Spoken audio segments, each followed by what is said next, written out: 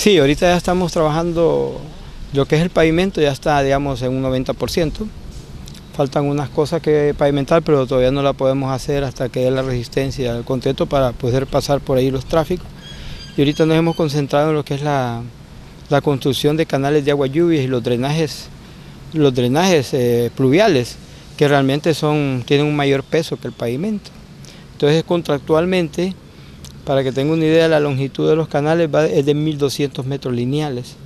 Y ahorita eso lleva un 55% avance físico.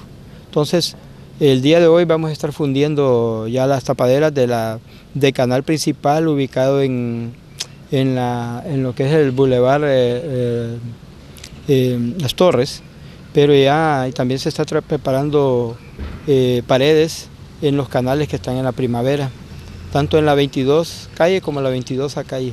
La 22 calle siempre ha sido como por la cantidad de agua que baja de la montaña a través de las calles de la, de la colonia Primavera, eh, eh, prácticamente es un canal abierto y lo que es el pavimento ya no existía, era asfalto, pero por otro lado también acarrea gran cantidad de, piedras y tierra y consecuentemente daña las calles de la primavera. Entonces, con estos canales vamos a mejorar y este proyecto vamos a mejorar lo que es el drenaje tanto de la primavera como el de la Trejo y evitar así que las calles se dañen constantemente por las lluvias.